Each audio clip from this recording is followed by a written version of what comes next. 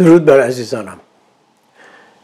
یاران همه به خوبی می‌دونیم یکی از ابزارهای سرکوب رژیم بنگاه دروغ پراکنی صدا و سیمای جمهوری اسلامی است. این انقدر واضح و روشنه که اصلا لازم نیست من راجع بهش توضیح بدم. خودتون بهتر از هر کسی این رو می‌دونید. یکی از راه های مقابله با صدا و سیمای جمهوری اسلامی زیر فشار گذاشتن مالی است.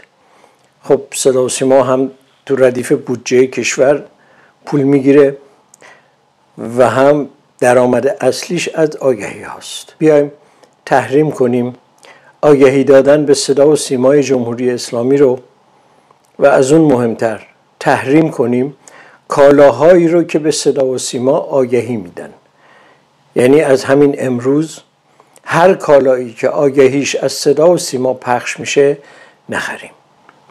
من فکر می‌کنم که این یک مبارزه مدنی بسیار بی خطر و کم هزینه است برای عزیزانمون در داخل کشور.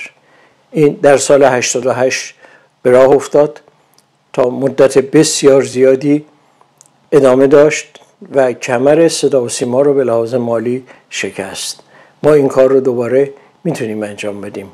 عزیزانم کالاهایی که به صدا و سیمای جمهوری اسلامی آگهی میدن رو نخریم. این تحریم رو جدی بگیریم.